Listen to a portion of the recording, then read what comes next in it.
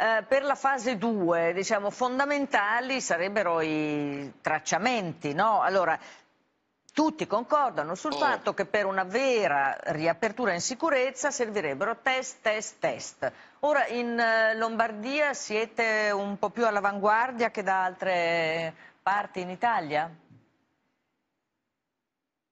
No, siamo nella retroguardia assoluta.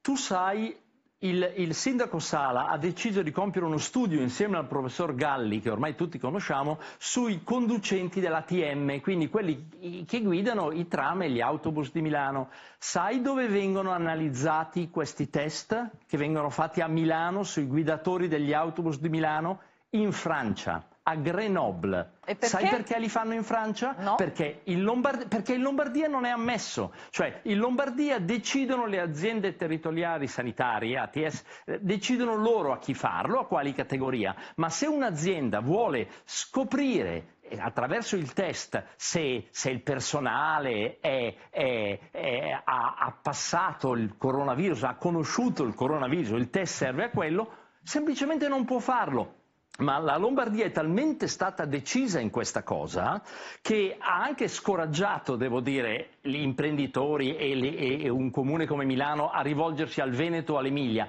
Sono finiti in Francia. Ce ne occupiamo domani sul Corriere. Simona Ravizza, che si è molto occupata di, di sanità, eh, andrà un... anche lei e se ne occupa anche. Allora, tu capisci la situazione? Cioè, io, come fa il ristorante a aprire? Voglio, hai sei dipendenti, vuoi, vuoi fare il test test certo. Armani è andato in Francia a fare i test.